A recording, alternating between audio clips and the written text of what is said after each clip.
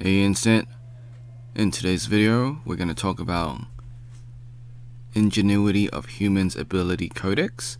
Is it worth your investment? So it is run around about 185 mil, that's what I bought it for.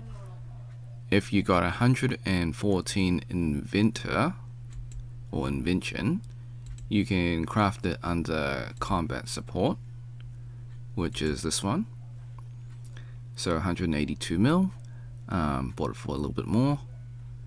So you need 114 invention level. You need two alchemical onyxes and the rest of these components. So what does it do? It guarantees you one hit for your ability or spell. So your next ability or spell will be a guaranteed hit. And then it has a 90 second cooldown. So let us just read it. Yes, I want to unlock it. Cool.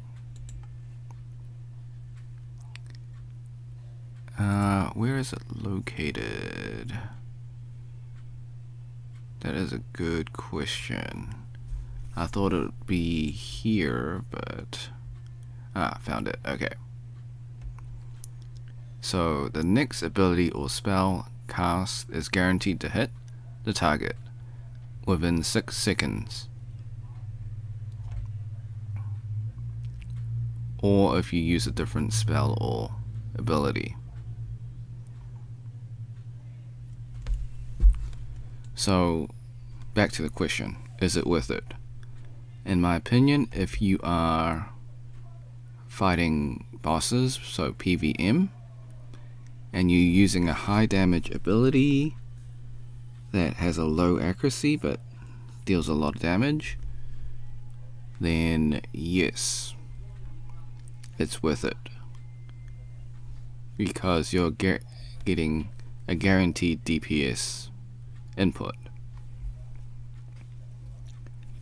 For your typical Slayer, this is overkill. Um, I would say if you're doing high level PVM and you're using abilities that has a high chance of missing or splashing, then this is a good ability to invest in to increase your DPS or guarantee your DPS rather for your typical PVM or PVE and just slaying mobs and stuff. Uh, this is overkill and this would be a luxury item for players that just are doing regular Slayer. But for in-game high-end players that want to guarantee the DPS, then this codex is worth your investment. Alright, thanks for watching.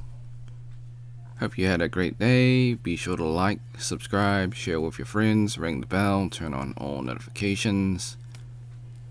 Leave a comment below what you're doing in RuneScape, what skills you're training to 99, 120, or 200 mil or whatever in general in RuneScape. Alright, until next time, see ya.